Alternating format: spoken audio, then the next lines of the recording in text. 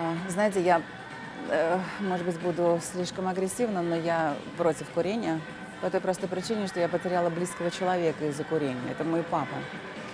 Поэтому я так хочу, чтобы никто не курил, чтобы все как-то обратили внимание на свое здоровье. И, может быть, закон где-то жесткий, да, там, не курить уже и в ресторанах, и в барах, и уже в помещениях, но, с другой стороны, это правильно. Потому что я думаю, что со временем все люди поймут, что это ну, не очень хорошая вещь.